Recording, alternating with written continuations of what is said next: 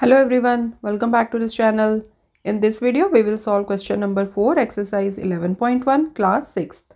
If there are 50 mangoes in a box, how will you write the total number of mangoes in terms of the number of boxes? Bracket में उन्होंने क्या दिया है use B for the number of boxes so in this case also हम लोगों को generic rule में लिखना है कि सपोज़ हमारे पास बी नंबर ऑफ़ बॉक्सेस हैं तो टोटल कितने मैंगोज होंगे? ओके सो यहाँ पर जो वेरिएबल यूज़ करना है हमने जेनरिक रूल लिखने के लिए, वो बी दिया हुआ है उन्होंने okay so therefore they have mentioned use B for the number of boxes एक बॉक्स में कितने मैंगोज हैं? फिफ्टी तो दो बॉक्स में कितने मैंगोज हो जाएँगे?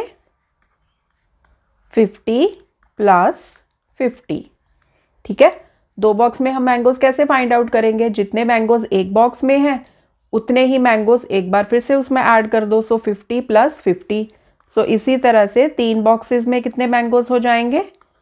Fifty plus fifty plus fifty मतलब हमने तीन बॉक्सेस को यहाँ पर ऐड कर दिया।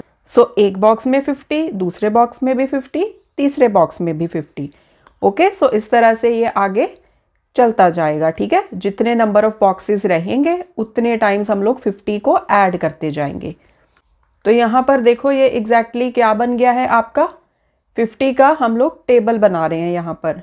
So fifty multiply by one fifty multiply by two fifty multiply by three and so on so इसको हम जेनरिक रूल में कैसे लिख सकते हैं? अगर हमारे पास बी नंबर ऑफ़ बॉक्सेस हैं तो टोटल नंबर ऑफ़ मैंगोज कितने हो जाएँगे? Fifty into B okay so 50 क्या है यहाँ पर? Mangoes in one box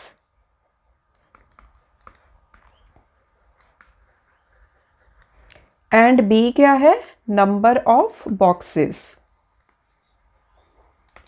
okay so 50 B is your answer so this is how you can write a generic rule for this question thanks for watching this video I see you next time take care bye